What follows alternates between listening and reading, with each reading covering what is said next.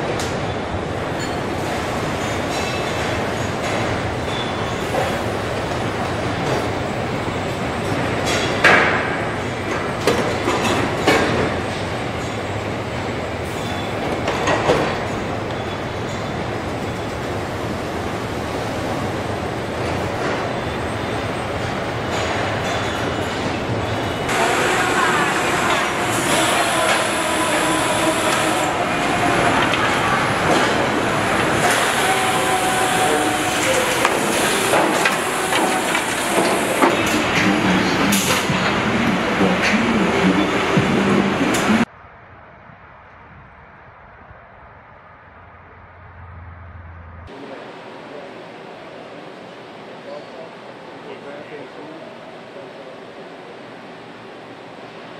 call it. Well, besides the side.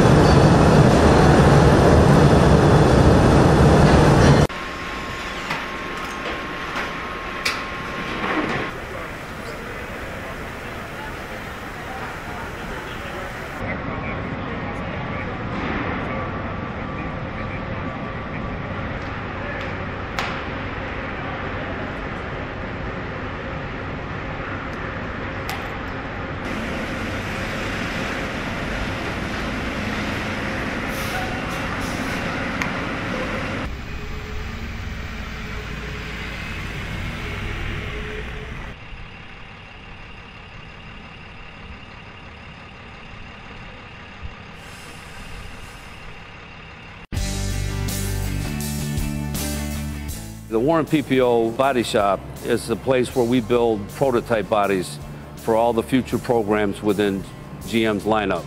Our process is to make sure that these properties are built correctly, to identify issues and concerns, and to make sure that they're resolved and completed so when we finally give that product to the plant, they will have a seamless launch. The plants were able to come in, provide their sequence of operations, knowing that once it reached their facility that they'd have a, uh, a flawless startup, which was very important. This facility basically is used now for their first launch event. Uh, so when the plants come in, they have that opportunity to take that into effect as well as all their learnings back to the plant and strive for a launch that would be flawless. The benefit to the customer is that they're going to receive a product that's going to have excellent quality, excellent fit and finish, and great reliability. We have just finished all the prototype properties for the Malibu and for the CT6. That's the next generation Cadillac. It's a very complex vehicle, multiple materials, including aluminum, huge change in the process, how it's built. And it's been a, a, long launch and it's been very successful, and we're very, very proud of it.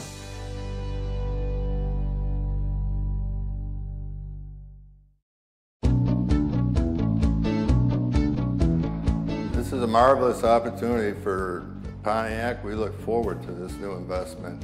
It should create much greater quality and better throughput for all of our plants and create a better product.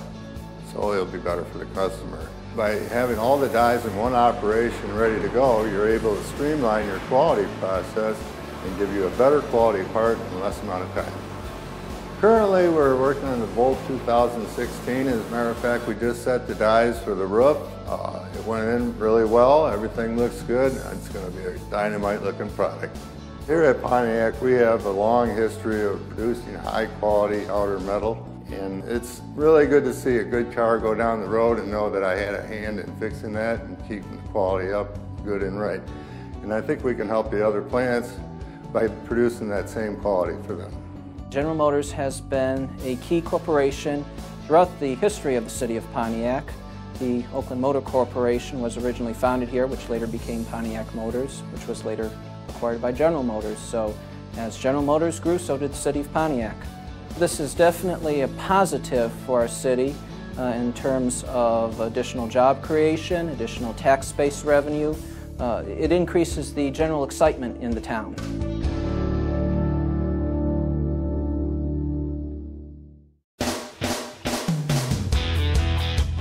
This investment of 520 million in the Lansing Delta Township Assembly will continue to help us build on the high quality tradition of the GMC Acadia Chevy Traverse Buick Enclave that we've been building, but it also lays the foundation for us to continue with that tradition with all future products that we bring to the facility.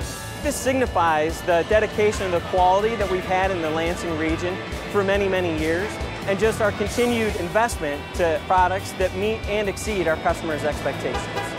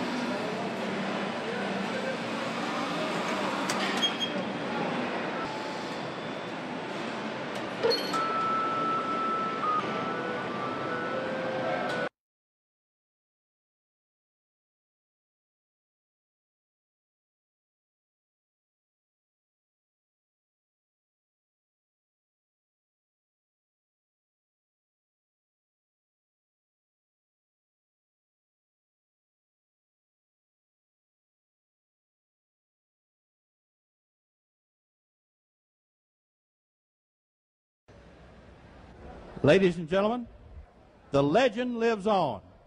I'm very pleased to present the beautiful one millionth Chevrolet Corvette.